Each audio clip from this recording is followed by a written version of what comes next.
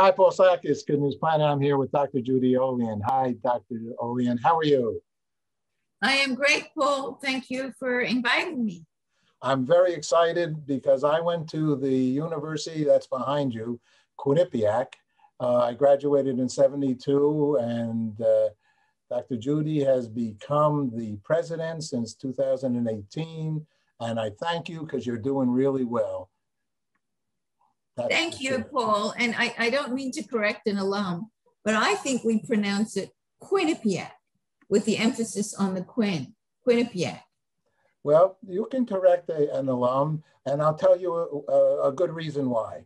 Because this week on Jeopardy, on Jeopardy, they had a question and they said, they were talking about cities, and they said, what city's original name was Quinnipiac?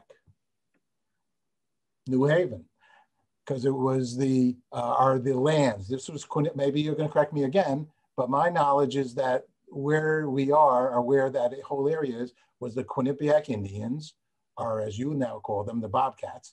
Uh, is that right? Do you think I'm on to uh, something? Uh, there, there's no doubt that the indigenous communities here were uh, the Quinnipiac Indian tribes and others throughout Connecticut, yes. Uh-huh, a lot of Indian tribes. Well, part of uh, my, I was fortunate because Quinnipiac was, uh, I don't know if I can say it any differently after 50 years, but uh, um, it, it, was a great, you have the beautiful surroundings there. It was, for me, I grew up in Westchester County, Tarrytown, and uh, you know, the sleeping giant, the campus. And what is that picture behind you? What's going on there? So this was a happy moment uh, just a few weeks ago. This was one of 13 graduation ceremonies that we had for all of the students who graduated in 2021 and for the students who came back who graduated in 2020 and didn't get to have their commencement ceremonies. So we had 13 of them. We had uh, 13 ceremonies. We had two guests for students. We were outside and it was a glorious celebration because for many people, not our students, but the faculty sometimes, and, and, and as a community, that was the first time they saw the full scope of what being part of the Quinnipiac um, family, the Bobcat family, was like. Now, we were on ground all year, which was very fortunate, but still, as you know, in the early part of the year, there were quite a few restrictions, and still they continued uh, throughout the year. But our commencement ceremonies were a true celebration, and especially for those who came back because they weren't together. So that's what you see the parents and our graduating students. Uh, and, and really, and the weather was glorious. So it was a perfect celebration. And behind you, we have the library, beautiful, beautiful library. Correct. And the student center. And the student center, I remember that. And in the background, Sleeping Giant Park. I mean, Quinnipiac is, is beautifully situated at the foot of Sleeping Giant Park ah, the, the land is so wonderful over there. It's so, so, so breathtaking and so, and, and has just gotten stronger. You've expanded also, the school has expanded to not only this campus, right? Uh, you're in other locations as well. We have three campuses, close to 10,000 students. Uh, one is in North Haven, and that's where our health sciences graduate programs are like physical therapy, occupational therapy, our nursing school, our law school, our school of education, and our medical school. And then we also have the York Hill campus, which is where our Division One basketball and ice hockey teams play. And many of our upper class students uh, live there. And then the Mount Carmel campus is predominantly undergraduates and the residence halls are for the first and second year students. Uh-huh. Oh. A beautiful, beautiful campus. Today is actually my uh, anniversary of being at Quinnipiac. It's the beginning of my fourth year, July 1. And I can tell you that the first time I came to Quinnipiac, I was blown away, nothing short of that, by the beauty of the surroundings, by the beauty of the facilities, by the beauty of the layout of the campuses. Well, that's good news, and we like good news. Let me let me just say, in, uh, in addition to uh, to you liking the Quinnipiac scenario, now this is though where she's coming from. I I do need to let some people know. I mean, you're coming from UC, UC, UCLA Anderson School of Management uh, uh, as the dean. Uh, uh, and Johnny Anderson Chair of Management for 12.5 years. Under the leadership, UCLA Anderson hired a record number of faculty, expanded the prestigious Board of Visitors, and raised over $450 million uh, for students and faculty support. You've been at other universities, uh, Pennsylvania State, University of Maryland. You are really a professional in education. And for Quinnipiac to get you that is good news. and so how do you feel about uh, you know, you've had an illustrious career. What do you like about education so much? So I, I'm an accidental academic, I have to tell you. I didn't plan this. I've always had, so, so my career has been uh, as a management professor, as a management consultant, and in business schools. And I've been fortunate to be kicked upstairs a few times, and, and I was dean of two schools at Penn State and at UCLA as the Dean of Business Schools.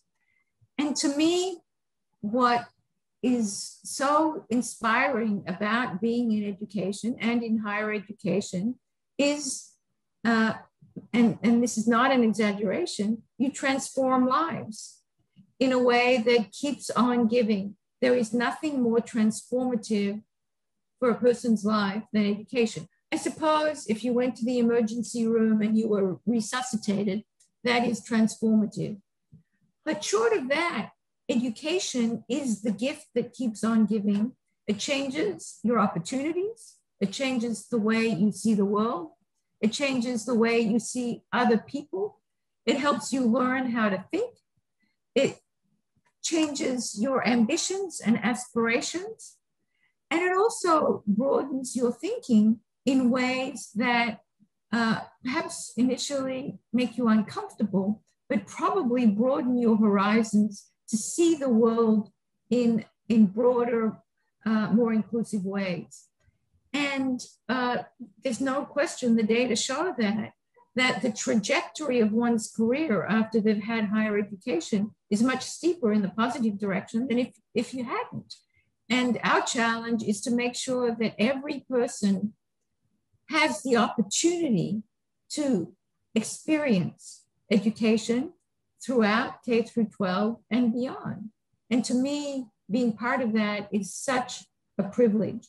And I see it every day the way young people's lives are transformed, and increasingly, older people's lives are transformed through this opportunity because now we're in um, an era where we have to be consuming education for the length of our lives. I'm sure you know, Paul, and I experience it.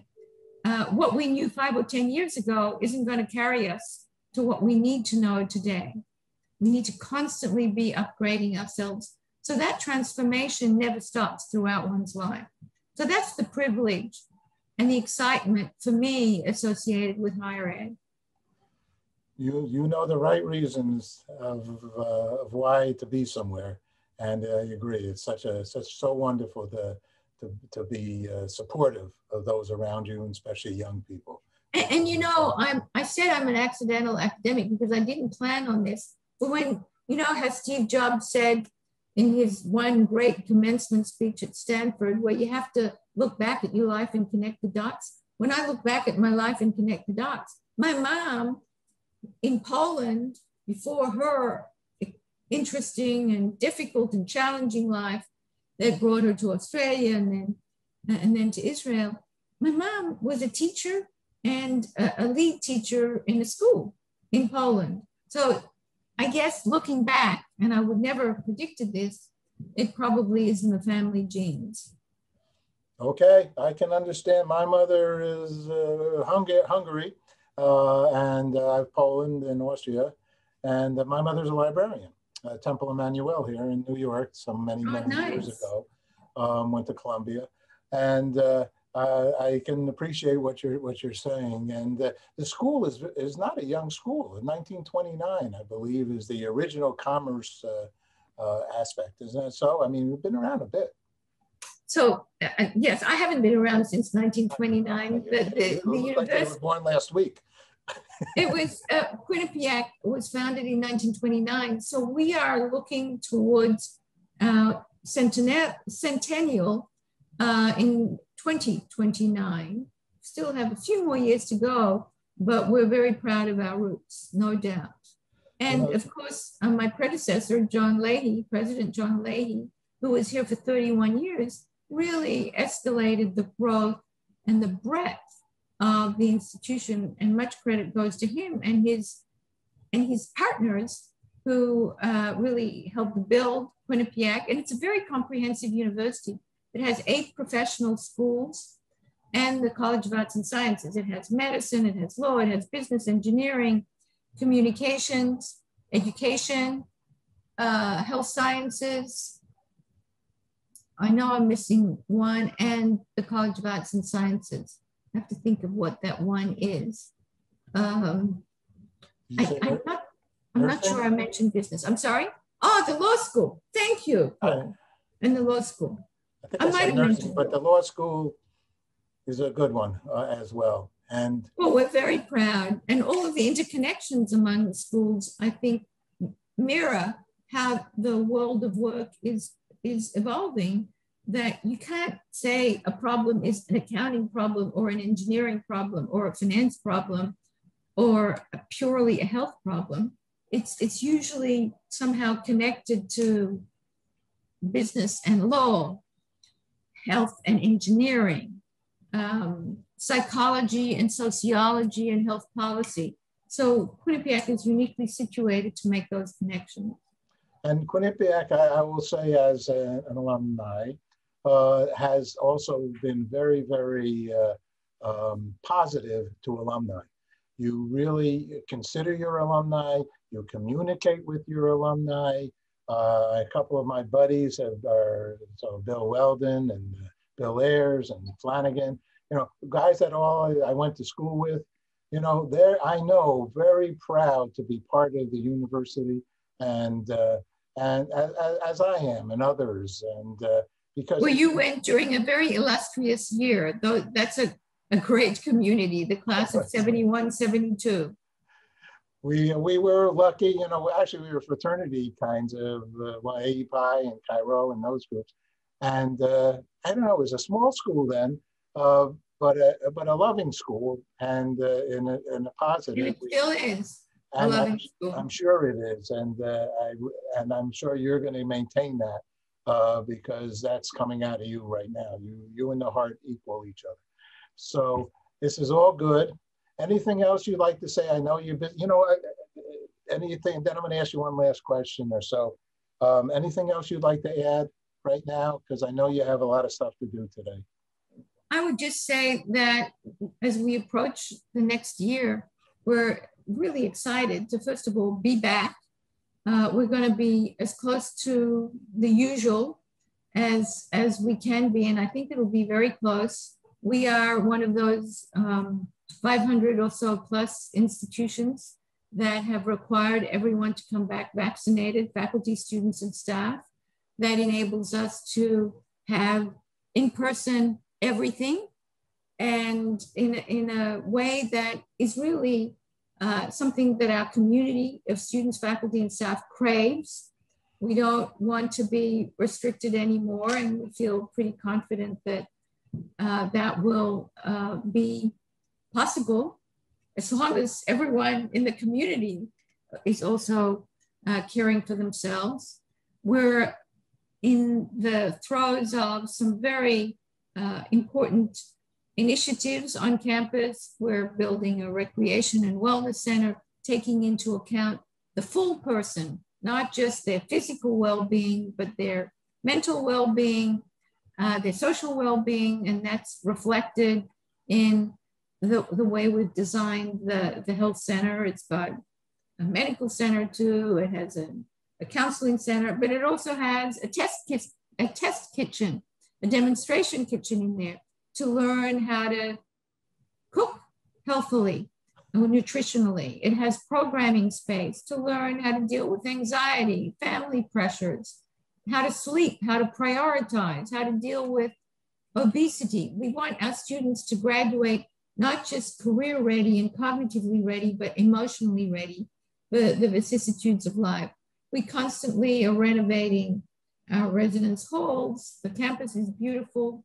New programs introduced each year. This year, we're introducing environmental sciences and environmental policy and some other programs. So it's, it's an institution always on the move uh, with much, much to be proud of as an alum, uh, Paul, and we're incredibly proud of what you've accomplished over the course of your life. We'll take some credit for it, but I know take that we're probably riding, riding your coattails. Take a lot of credit for it. I really, I was in a very comfortable scenario there that allowed me to, to, to grow with wonderful uh, professors um, who were supportive and, and deans and uh, I mean, some with Evans and Palsy and uh, and uh, Costanzas. I mean, I love these people. They were just so positive and reassuring, and uh, and it's all good. I just learned one thing though. I didn't know that our the motto of the school is "He who transplants sustains." That's the tra- the translation of the of the Latin. He who transplants sustains, and I think that's actually kind of a very good motto for that school because yeah, or he who transforms, sustains. Yeah, transforms is a, is a is a is a good one uh, as well. That same kind because that's what the school has done. You you keep growing. Well, you want you want people. I mean, our mission statement talks about uh, developing and graduating enlightened global citizens for careers of the future. So we we it's not just about careers; it's also about really impacting communities in an enlightened way. And okay. that's never been more important. No, that enlightenment is uh, is life affirming. It's all good. All right. Well, the last we're involved and might know about it. We have these Peace Day events that we've been doing with the United Nations. 193 countries agreed to a day of peace. So I've asked many, many people, what does peace mean to them? And uh, uh, Dr. Judy Olian, what does peace mean to you? That is a, a wonderful question. I, I, can think of it in two ways. I can think of it in terms of the context of how um, I live and I'm surrounded by. And I can think of it in the very broad context of, of um, global peace. I'll, I'll answer it in two ways. One, what does peace mean to me? It means seeing the transformational impact of what education is doing to the lives of very diverse students. And I had that experience of quote peace yesterday when I had lunch with uh, eight or 10 of our students at Quinnipiac who are doing public service projects in the community with state and local officials, helping kids in, from underprivileged backgrounds helping the environment, helping a community like the local township of Hamden reach out to citizens, residents in need, uh, and seeing how that may that experience may change them as part of their education. That's exactly what what transformation through education means. Transformation through experience. To me, that really touches my heart and says, that's why you're doing what you're doing, Judy. Um, on a global scale, I, think of two examples now how privileged we are in this country that in those areas that have availed themselves of the tremendous, I mean, miraculous scientific advances that gave us COVID vaccines that enabled us to conquer a pandemic. Um, I wish that upon all parts of the world. To me, that is peace because everyone deserves it. And as somebody who has lived for a long time uh, in Israel and had had roots in Israel, I wish that there can be a solution that recognizes the humanity of all people who live in that region. You are fantastic. Thank you so much. You really. Uh, Thank you, Paul. So Thank you for being so easy to talk to and for, for prompting such great questions. And we ride your coattails. You make us very proud as a Quinnipiac alum, as a member of the Bobcat family. And I and I and I, am riding yours, and uh, it's all it's, we're, all we are is what we are with each other, and that's the uh, that's the forward motion of life. Thank you very much. Thank you.